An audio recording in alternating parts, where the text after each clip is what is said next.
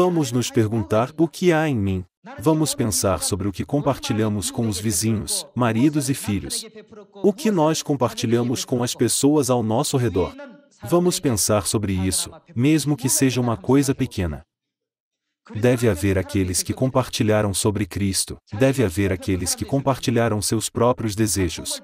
Algumas pessoas podem ter compartilhado brigas, ou indignação. Eu acredito que devemos compreender que tudo o que compartilhamos é o que está dentro de nós.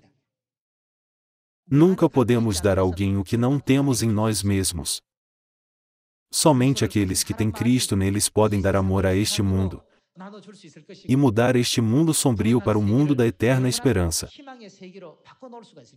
Uma vez que nascemos como seres humanos neste mundo, todos nós passamos por dificuldades, independentemente se temos uma posição elevada ou não, se somos ricos ou pobres, se estamos na classe alta ou na classe baixa, todos nós experimentamos dor e sofrimento. Não há ninguém neste mundo que não passe por dificuldades.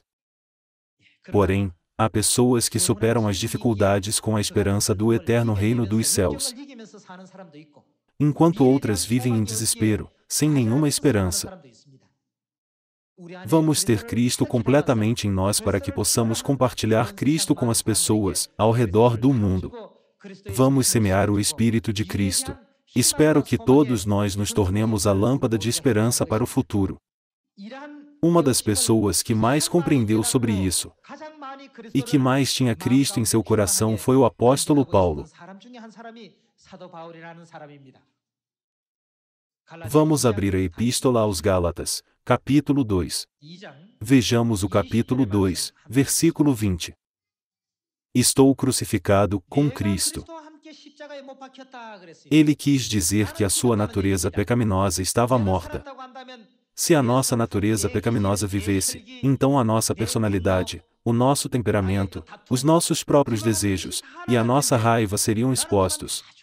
Porém, tudo o que tínhamos no passado não existe mais. Em resumo, nós não os temos mais.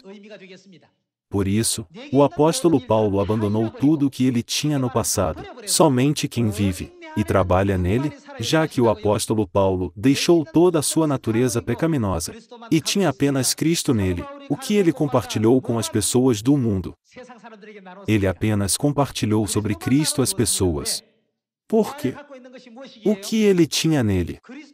Porque somente Cristo habita nele. A única coisa que ele tinha em abundância era Cristo. É por isso que o apóstolo Paulo pregava os ensinamentos de Cristo, por onde quer que ele fosse. Ele ensinou às pessoas os princípios do reino dos céus onde Cristo habita, e deu a eles a esperança do céu. Como resultado, ele recebeu a grande graça e bênção de Deus de poder escrever os 14 livros do Novo Testamento. Além disso, ele se tornou um apóstolo tão famoso que não há um cristão nos dias de hoje que não saiba quem é o apóstolo Paulo.